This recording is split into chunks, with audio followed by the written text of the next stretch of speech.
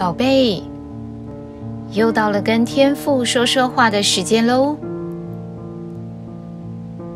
我们先来读圣经，今天继续《使徒行传》十九章二十三到二十八节。那时，因为这道起的扰乱不小，有一个银匠名叫迪米丢。是制造雅迪米神银龛的，他使这样手艺人生意发达。他聚集他们和同行的工人，说：“众位，你们知道我们是倚靠这生意发财。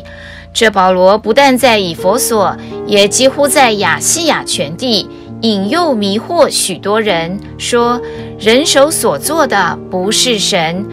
这是你们所看见、所听见的。”这样不独我们这事业被人藐视，就是大女神雅迪米的庙也要被人轻呼，连亚细亚全地和普天下所敬拜的大女神之威荣也要消灭了。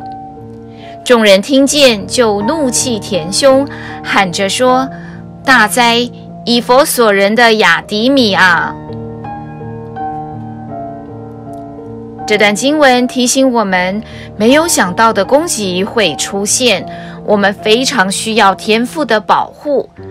现在就跟着妈妈一起祷告，做我们四维盾牌的天赋。我们今天每一天都需要你，你是我们的后盾，是为我们生命撑腰的天赋。谢谢天赋应许保护你的儿女。